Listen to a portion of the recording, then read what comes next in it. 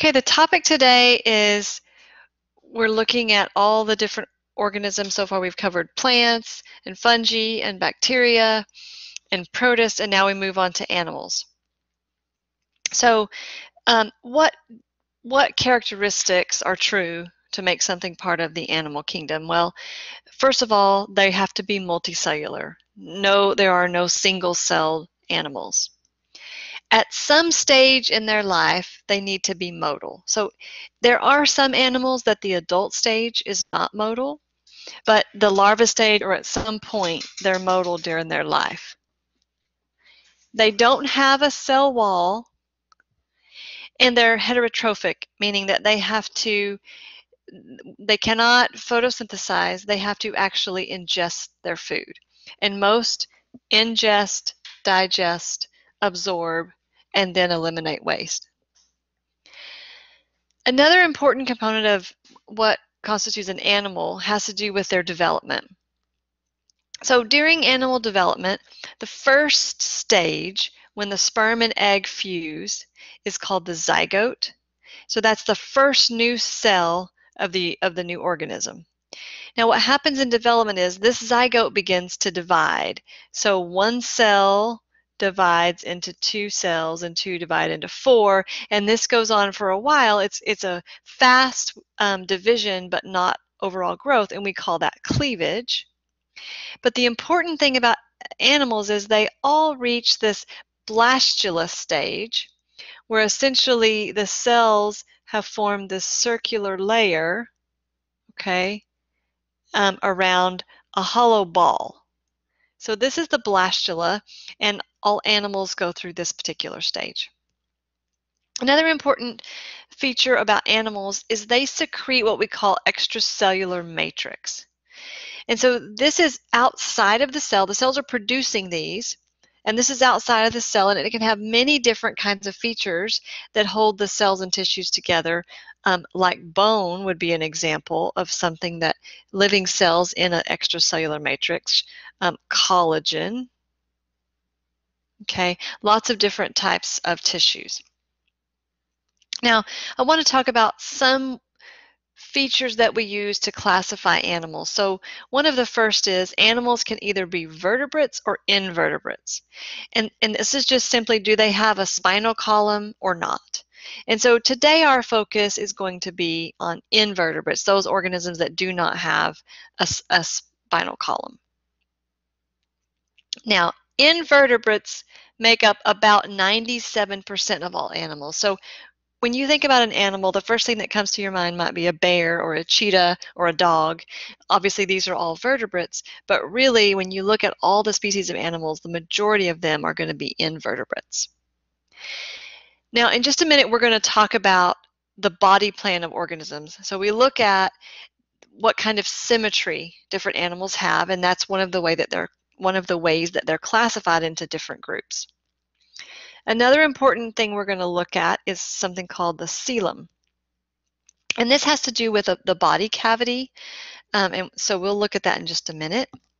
Another way that they're classified is dependent on the first opening in embryonic development, whether it is the mouth or it is, whether it is the anus. So if the first opening that forms is the mouth, it's a protostome. And if the first opening is the anus, then it's a deuterostome. Most animals are going to reproduce by sexual reproduction, although there are some that can reproduce asexually by budding or fragmentation. Another important feature of animal development is called the gastrula. So after the blastula, it begins to go on, and then the cells begin to form this invagination which is called the, it's this is called gastrulation, and this opening eventually is going to become um, the digestive system. And so during gastrulation, the organism or the animal actually forms three different what we call germ layers. And we'll talk about those three layers in just a minute and what at that point each of those germ layers is destined to become a certain type of cell or tissue. Another term I want us to think about as we go through these different animal phyla is cephalization. So this term essentially means you have nervous cells or the nervous system that be it, it be it's concentrated into one region of the organism so the anterior or toward the head so think about a brain right would be cephalization where we have a concentration of nervous tissue in that region another important component i want to mention to you is some some genes that are called hox genes so it's more than one but these group of genes are, are grouped together because essentially what they are known to do is determine the general body plan. Where, where's the head, where's the thorax, where's the tail, or where are the appendages? Um, where do these things form in the developing embryo? And the interesting thing is across many animals, the, the DNA sequences that make up these genes are similar from one animal species to another.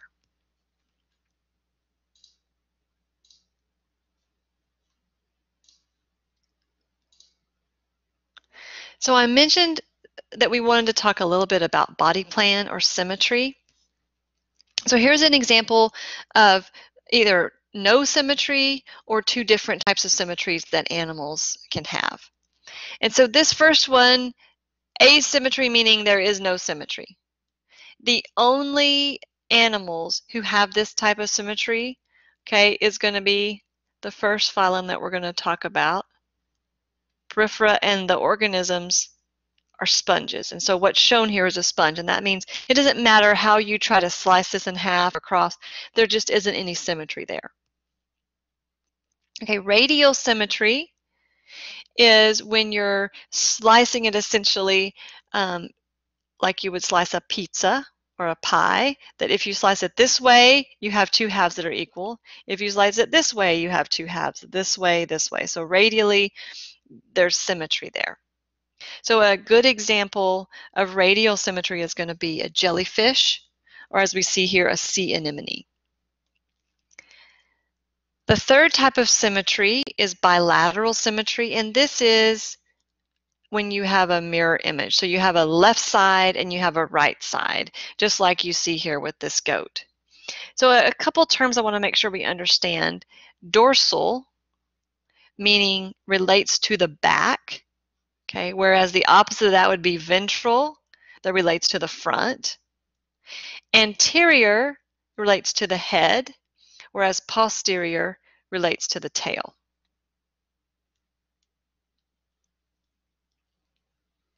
So I'll move, whoops, excuse me, yeah, we'll move forward to, we'll talk a little bit more about embryonic development in animals. And so as I mentioned, during the gastrula phase, so here's our zygote, the first cell when a sperm and an egg meet. You have cell division through something called cleavage, and you get this mass of cells. Cleavage continues until you reach this blastula stage, which is unique to animals. It's, it's a hollow ball, hollow ball or a fluid-filled ball of cells. And then as the development goes further from the blastula, we get to this gastrula. So you, the important thing to see here is this invagination or this folding in, right? And this is the, the primitive gut, right? Or what will become the digestive canal. Now, in gastrulation, there is the commitment or the development of three different types of germ layers or tissues. So the first is the ectoderm, and the ectoderm is destined to become skin or nervous system. The mesoderm will become muscles could be and could be circulatory system. And the endoderm is going to be eventually the digestive tract. So not all animals are going to have all three germ layers. So this is one way that animals are differentiated into different phyla. Okay, I also mentioned to you the first opening. So when this first invagination occurs and we have this opening, what does this eventually become? If it becomes the mouth, then those organisms are called protostomes. If it becomes the anus, they're called deuterostomes. We happen to be deuterostomes. So our the first opening there becomes the anus. Um, another group that are deuterostomes are the echinoderms, and we'll talk about both of these groups we'll talk about next week, but echinoderms are, for example, sea stars, um, sea urchins, those would belong to this group. So we'll get to those next week.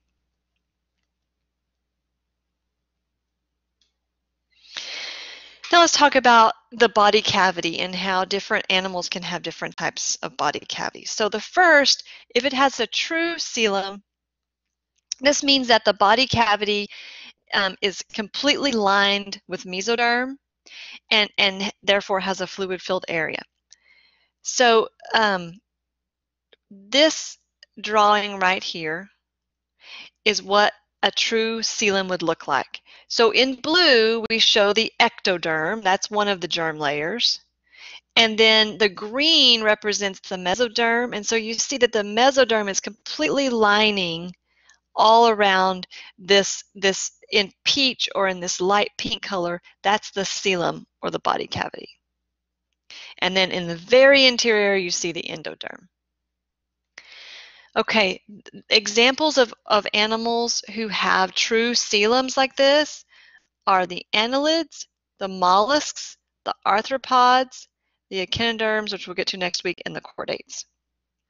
So we'll talk excuse me, about each of those later on tonight. Those that do not have um, a coelom, example would be flatworms, so they just have the three germ layers in a digestive cavity. There's no lining um, of the mesoderm at all in the in the cavity. And then there are organisms that are called pseudo-coelomates, and that's because they have a partially lined digestive tract, but not all the way. So an example would be the roundworms. I want to mention one other term to you. So we sometimes will talk about a hydrostatic skeleton. So remember, the organisms tonight we're, we're talking about are invertebrates, so they don't have a true internal skeleton.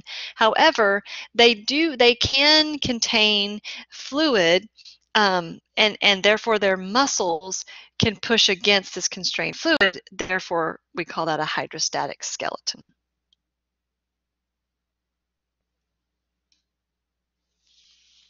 Let's take just a minute to look at um, the, the phylogeny of some of the um, animals. And so we're, we're going to look down here. This group right here, Porifera, these are the sponges. So these are the, the absolute simplest of all animals, okay? As we'll learn in a minute, they don't have true tissues. Um, they're they're the, the simplest animal. And so as you work your way up, we eventually see here's here's chordates, which is a group that we would belong in. So what I want you to notice about this phylogeny is that this tells us there's no true tissues here. So everything else in this tree is going to have true tissues. Okay. Um, this here tells us that these organisms have radial symmetry, and we'll talk more about the cnidarians later that include the jellyfish. Okay, um, bilateral symmetry here. So all the other organisms are going to have bilateral symmetry. So arthropods and nematodes, platyhelminthes, annelida, mollusca, echinoderms, all of those are going to have bilateral symmetry. Here's the other feature that we talked about, protostomes versus deuterostomes. So as you see, the two groups that are deuterostomes are chordates like us, and echinoderms. This is something that you might want to refer back to after we go through and talk about the different phyla tonight, just to see how that they relate in some of the features that we discuss. So our first phylum that we're going to discuss is phylum Porifera. So these include the sponges, and as I mentioned to you, these have no symmetry. So this is the only group of animals that do not have any kind of symmetry. Now I mentioned to you that one of the common features for all animals is that they're motile, and the adults of these sponges, they're just attached to a substrate just growing, right? They're sessile, meaning they're non-motile However, they do have a stage, their larvae are actually swimming larvae. So they do have a stage in which they're motile Okay, how do they get their energy? Where do they get their source of energy? Well, they have pores all over their body, and water flows in through the pores and then it exits out the top. They do not have a head, but they have something called an osculum at the top, and the water comes into the pores and out the top. And while the water is flowing through the organism, simple diffusion is how they get their nutrients right out of the water, and that's how they exchange their gases. So they take oxygen in from the water and they release carbon dioxide out into the water. Now they accomplish this by two important types of cells. They don't have true tissues, okay, no true tissues, so they certainly don't have the germ layers, but they do have specialized cells. So the first, the, the choanocytes, and the second cell type that we're going to talk about are the amoebocytes, and we'll, we'll look at how do they function for the sponge on the next slide. But let's talk a minute about how do they reproduce. Well, they can reproduce asexually just by budding or a fragment breaking off and becoming a separate organism. Or they can reproduce by sexual reproduction. They're actually hermaphroditic, meaning they have both sex, they can produce sperm and egg. Um, the sperm are released, and then fertilization of the oocyte or the egg actually occurs internally. And then at some stage, the larva is released to swim. The larva finds a, a spot to attach and then grow into the adult.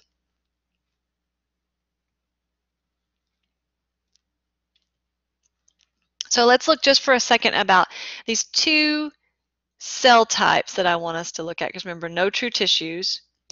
But the choanocytes, the way that they function, their job, because they have flagella, is for their flagella to move together. And when they do that, it creates a water current that essentially draws water in through the pores of the organism. And when the water's drawn in, then the organism traps food by phagocytosis, which just means it sort of surrounds and engulfs the food. Um, these, these types of cells are lined on the inner body wall. So if we if we look here, here's here's the sponge, and this part's blown up big for us so we can see what this looks like. So this would be an example of one of these cells, how it lines the body wall. And when these flagella move, okay, it brings water in through these open pores. Okay, these cells can also differentiate into sperm and travel out of the organism and go find another sponge to fertilize by sexual reproduction. Now the amoebocytes are named that because they move like amoeba. Remember we talked about amoeba in the protist chapter? So the amoeba kind of look like globs as they move around.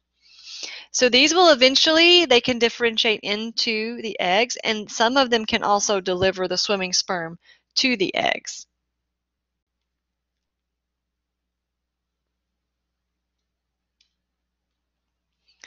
Okay, we're gonna we're gonna move on to the next phylum, which is Cnidaria. So the, the C is silent. Say it just like if it wasn't there. These are mostly marine, meaning in the ocean, but you do find a few species that live in fresh water, but they're all aquatic. These now, so remember sponges had no symmetry. These are going to have radial symmetry, so they're this from the top, right? You can slice them um, lots of different ways. They don't have all three germ layers, but they do have two. And they come in either a medusa body plan or a polyp body plan, or some of them may have both body plans at some point in their life. So this is the Medusa body plan that looks sort of like this, right? Top down. So an example of that would be a jellyfish. And this is the polyp body plan, so where the tentacles are sort of up. And so an example of this would be a sea anemone. So what are some of their features? Well, they have they perform extracellular digestion. They have a gastrovascular cavity where they release enzymes to digest and then they absorb the nutrients. they do not have a digestive tract. It's incomplete because they only have one opening, meaning it goes in that opening and the waste has to come back out the same opening. So their gas exchange, just like uh, sponges, occurs simply by diffusion. Oxygen diffuses into the cells, carbon dioxide diffuses into the water. They have a simple nerve net of nervous tissue. Um, reproduction, similar, they, they can reproduce asexually by budding or fragmentation, or they have a sexual reproductive option, which is they produce sperm and eggs, and they release that into the water. And so fertilization of the egg by the sperm occurs in the water as external fertilization. The larva stage then is going to be a swimming larva.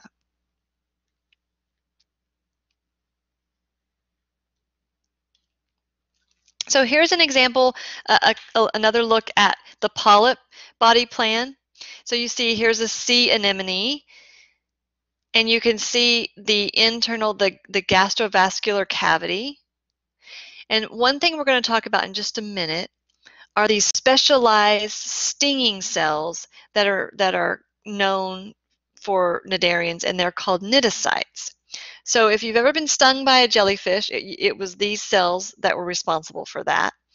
Um, and so here's the mouth region.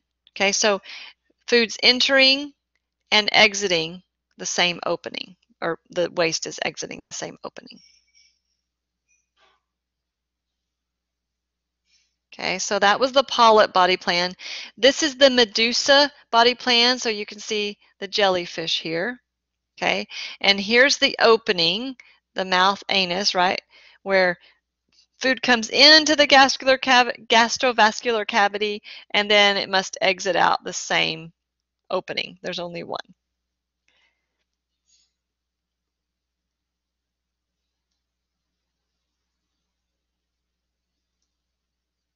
Now let's take a look at these specialized stinging cells that are found in the cnidarian phyla, cnidocytes. So these can deliver toxins. They can be painful. They can even be deadly. And so um, these, these cells have something in them that are called nematocysts. And essentially you can think of this like a coiled thread that's ready, right, to be released. And they have these um, essentially like a sensor. And when they're touched, this this just shoots out, okay? And so this would be what it looks like before, and then as, if this is triggered, then this is what it looks like when it fires. So this is what's happened if you've ever had a jellyfish sting.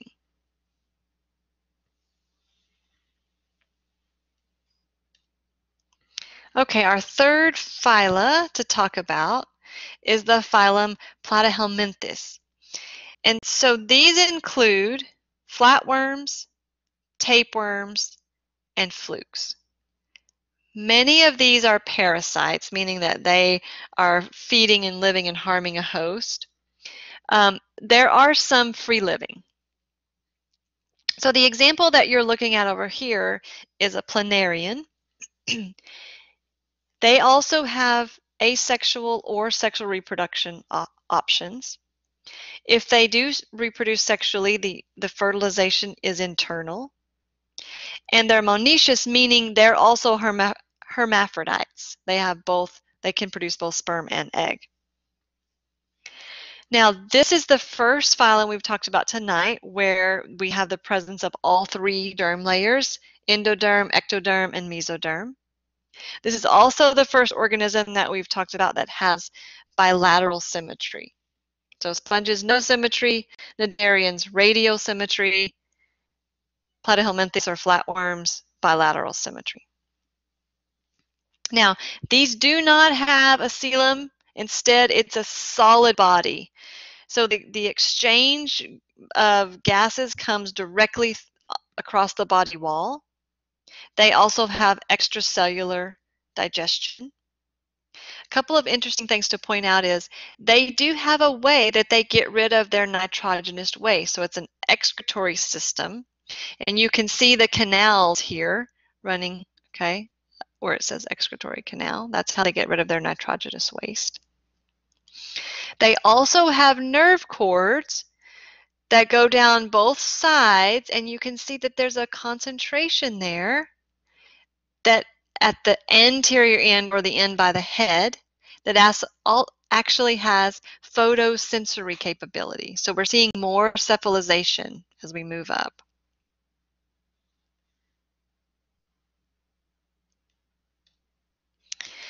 Okay, tapeworms, no fun, are one type of flatworm. And these guys, they have um, a sucker on their mouth where they can attach, right, and feed. At the anterior end, or it's sometimes called a scolex, so you can see what that looks like where they will attach. There are these units of a tapeworm called proglottids that get released in the feces of an infected animal. How does an animal become infected? Well, usually it's either by drinking contaminated water or eating a food source that's contaminated with these proglottids or the eggs of this organism. Now, if you look at this life cycle, what happens is the larva then begins to grow in the muscle. So, for example, let's say of a pig, right? The muscle grows in the muscle of a pig. And then how do we encounter the tapeworms? Well, if we eat if we eat raw or undercooked meat that has the larva in the muscle, then that's how we can acquire these tapeworms that will have fun and sit down and attach in our intestines and absorb all of our nutrients.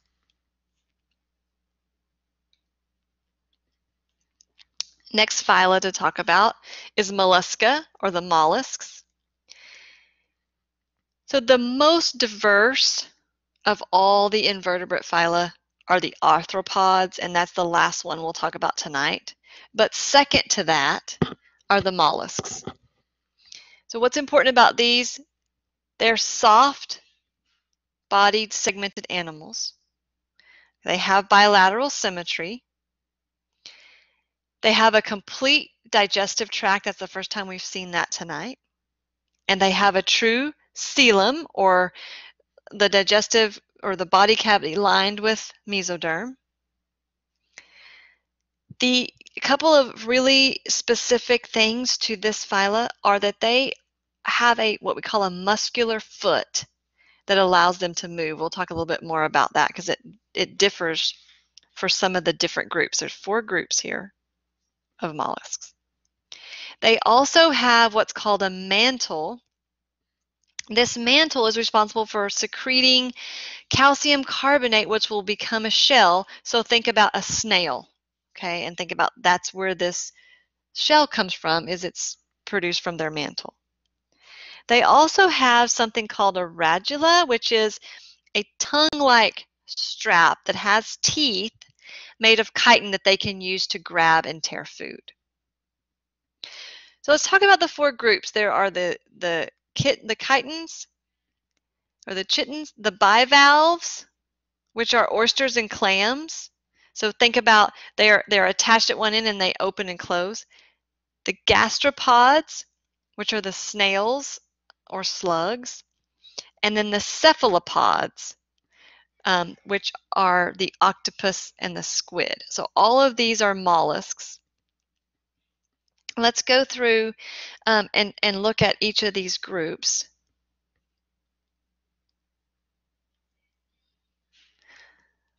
So these are named for these eight overlapping flat shells that look like, like shingles.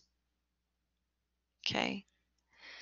The bivalves, so here's some, some oysters you see here, are, are essentially hinge shells, oysters, clams, um, trying to think of some other examples right now, but those those hinged sea creatures. Okay.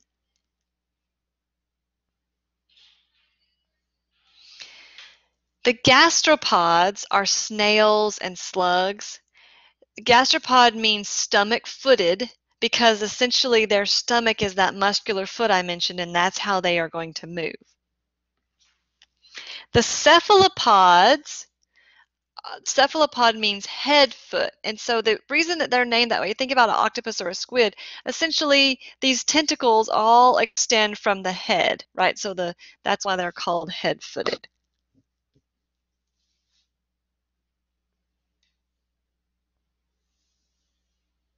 Now, I just want to say one more thing um, before we move on. And then as I mentioned to you that they have a mantle and that the mantle secretes calcium carbonate to make to make for a shell. Okay, that's in most species. So some species it will be an internal um, shell, but in some it's absent, like in the octopus. Okay, moving on. We are at the Annelida phylum or annelids. So as you see here, this is an earthworm. And so the earthworm is part of this phyla. And what are important to know about these? Well, they're segmented. And you can look at this worm and see there's these tiny little segments, right, all along the worm. I want to point out to you this one specialized area of the worm. We'll get there in just a second. Even though you might look at that and think that it has radial symmetry, it does not. It has bilateral symmetry um, because you cannot cut this any direction and get symmetry. It's it's like a human. You can it has mirrored sides, so it's bilaterally symmetrical. So besides earthworms, leeches and something called polychaetes are also part of the phylum Annelida. Gas exchange occurs across the body wall by diffusion. They have a simple brain, so we have cephalization there in the anterior end by the head. They have a complete digestive tract, so there's mouth and anus present in these annelids. The structure that I circled here is an important component of annelids called the clitellum. And this actually is part of their reproductive system. It generates mucus, which allows sperm to transfer, and it also becomes a cocoon for fertilization.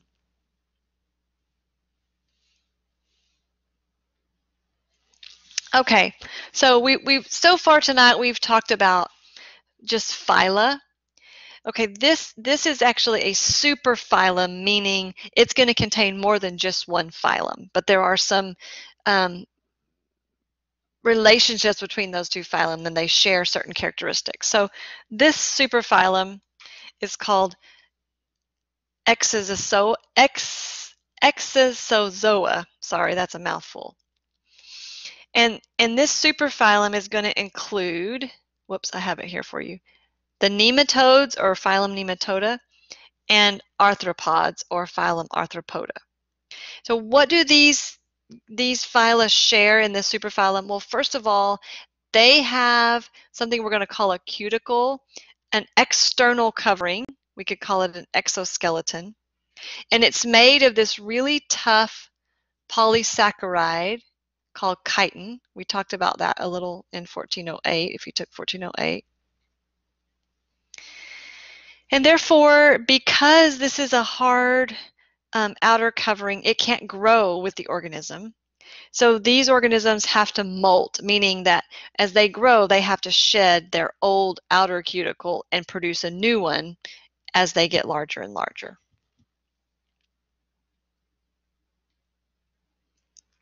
So the first phyla there, Nematoda, these are the roundworms. So like the annelids, even though you might think they have radial symmetry, they don't. They have bilateral symmetry because they actually have a left and a right mirror side. They're not the same all the way around. They have a pseudocoelom, so they're partially lined with mesoderm. There are some free living and there are some that are parasites. They do have a complete digestive tract, meaning they have both mouth and anus. So they take in food in one end and the waste is released at the other end.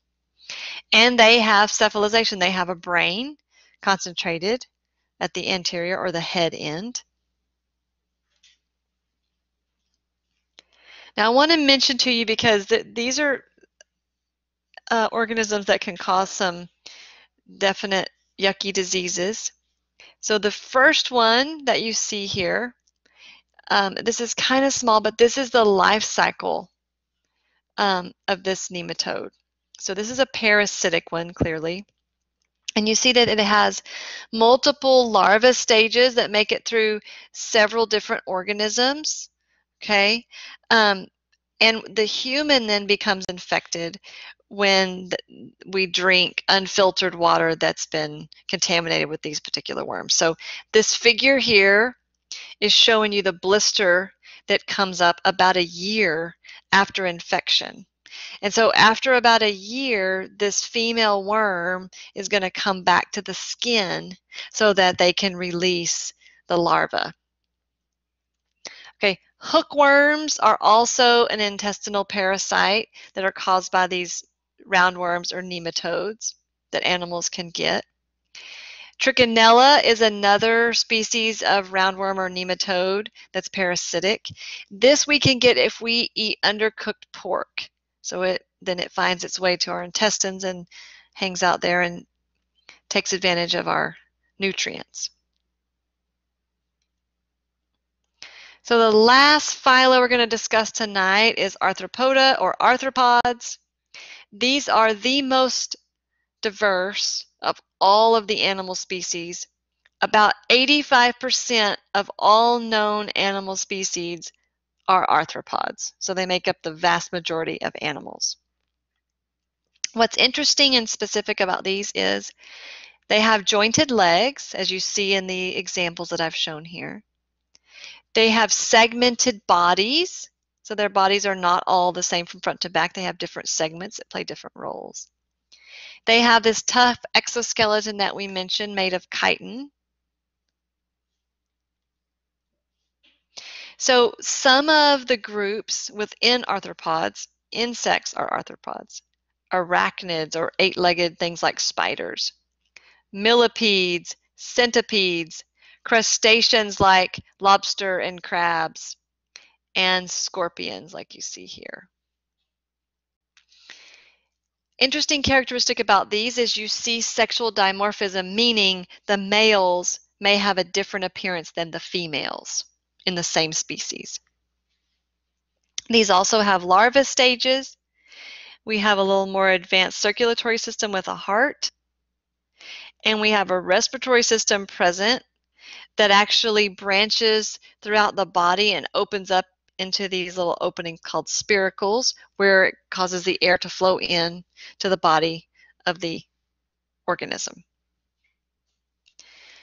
So next week we'll pick up with echinoderms and chordates, but that will finish us off tonight for invertebrates.